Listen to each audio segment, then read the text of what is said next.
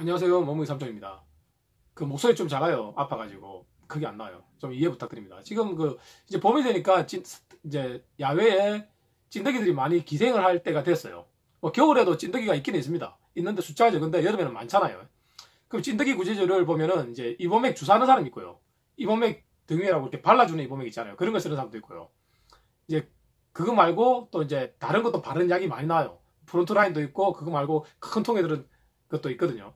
그리고 여러 가지 제품들이 나옵니다. 그리고 이제 목걸이 하는 것도 있고요. 또 이렇게 뿌려주는 약도 있잖아요. 그러면 어떤 게 좋냐? 제가 생각할 때 주사제는 그렇게 효과가 아, 그 효과에 비해서 너무 걔한테 무리가 많이 가요. 그 지속적인 효과를 길게 내기는 힘들거든요. 맞아도. 그리고 등에 발라주는 것도 그게 뭐 한 달까지 간다 하지만 한 일주일, 이주일은 강하게 가는데 그 이상 강하게 가진 않아요. 그리고 또 바를 때 가장 문제가 뭐냐면 이제 용량을 정확하게 맞춰야 돼요. 그런 약들은. 근데 이 휘발성이거든요. 그러면 이 가르마를 타서 피부에 정확하게 목에서부터 엉덩이까지 발라줘야 돼요. 꼬리에도. 근데 그걸 갖다가 털리는데 같이 발라버리면 그 양이 정확한 양이 아닌 거예요. 효과가 떨어지겠죠. 거기에 대해서 주, 의를 하셔야 되고요. 분명히 가르마를 타고 피부에 정확하게 발라줘야 됩니다.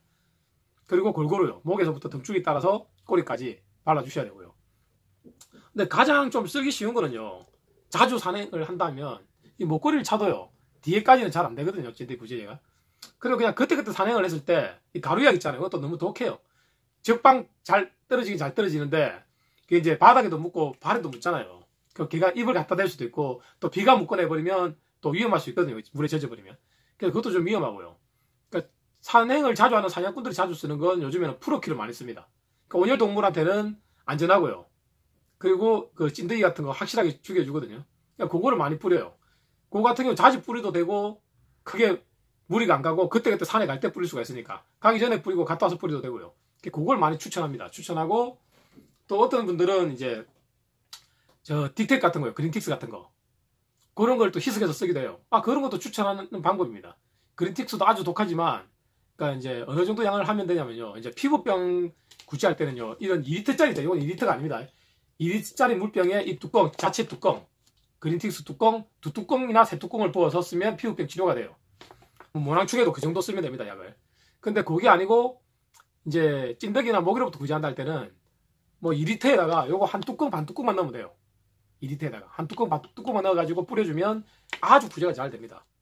예, 그 프로킬하고 그린틱스로 약하게 해서 갈 때마다 뿌려주는 방법을 권합니다. 산에 갈 때마다 뿌려주는 방법.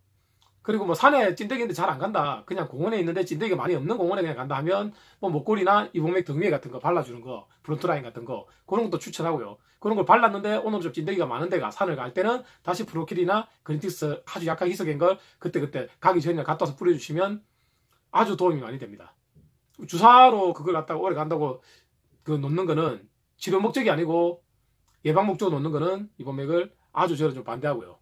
효과도 그렇게 많지 않습니다. 도움 되시길 바랍니다.